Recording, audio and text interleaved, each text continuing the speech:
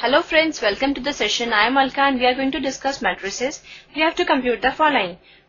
Our matrix 1, 2, 3 is multiplied by matrix 2, 3, 4.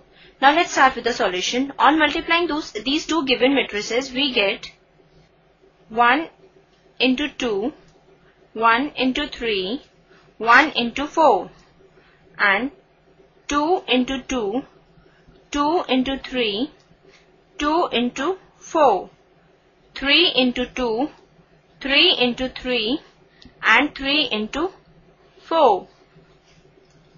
This is equal to 2, 3, 4, 4, 6, 8, 6, 9, 12.